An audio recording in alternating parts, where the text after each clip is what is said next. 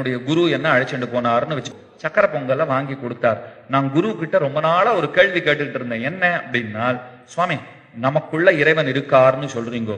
ஆத்மாக்குள்ள இருக்காருன்னு சொல்றீங்கோ. ஆனா என்னுடைய குறைகள் அதோட இறைவனுக்கு எந்த தொடர்பும் இல்லைன்னு சொல்றீங்களே அது அவரை பாதிப்படைய செய்யாது அவரோட ஒட்டாதுன்னு சொல்றீங்களே. எனக்கு இது புரியல புரியல புரியலன்னு சொல்லிட்டே இருந்தேன். குரு சொன்னார் நான் ஒரு நாள் உனக்கு சொல்றேன் நீ கவலைப்படாதேன்னார். கோயிலுக்கு கூட்டுன்னு போனார். சக்கரை பொங்கலை வாங்கி கொடுத்தார். நான் இன்னும் கொஞ்சம் வேணும் இன்னும் கொஞ்சம் வேணும்னு கேட்டு வாங்கினேன். நன்னா சாப்பிட்டேன். கையெல்லாம் எப்படி இருக்கும்? ஒரே நெய்யின்றதுனால கை எப்படி ஆகி இருக்கும் பிசு பிசுத்து போயிருக்கும். ஒரே ஒட்டிக்கும். எங்கேயாவது போய் கை கழுவினா தேவலாம் அப்படின்னு நாம குரு என்ன பண்ணார்? சாம்பல் எடுத்து கையில கொடுத்தார். நான் நல்லா தேய்ச்சிக்கிட்டேன். மேல கையை கழுவிட்டேன். அப்பாடா பிசு பிசுப்பெல்லாம் போயிடுத்து அப்படின்னு சொன்னேன். அவர் என்ன தெரியுமா சொன்னார்? என்ன பார்த்து கொஞ்சம் வாயை தரேன்னார்.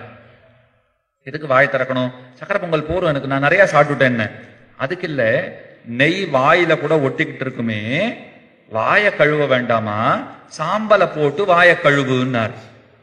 ஐயோ அவர் முன்ன பின்ன சக்கரை பொங்கலே சாப்பிட்டதில்லை போல் இருக்கு குரு அந்த மாதிரி எல்லாம் செய்ய மாட்டாங்க.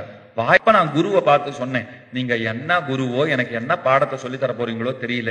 குருவே கையில தான் ஒட்டுமே தவிர பிசு பிசுப்பு கையில ஒட்டுமே தவிர நாக்குல ஒட்டாது அப்படின்னு நான் பதில் சொன்னேன். அப்ப குரு ரொம்ப அழகா ஒரு கேள்வி கேட்டார் உன்னுடைய உடம்பிலேயே ஓரிடத்திலே ஒட்டுகிற நெய் அந்த பிசு பிசுப்பு இன்னொரு இடத்துல ஒட்டாதுங்கிறத நீ ஒத்துக்கிற கரெக்ட் தானே?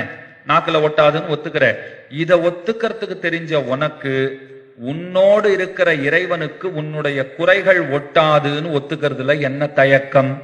இது அவர் சொன்ன பதில். உனக்குள்ள இருக்கார் பெருமாள்.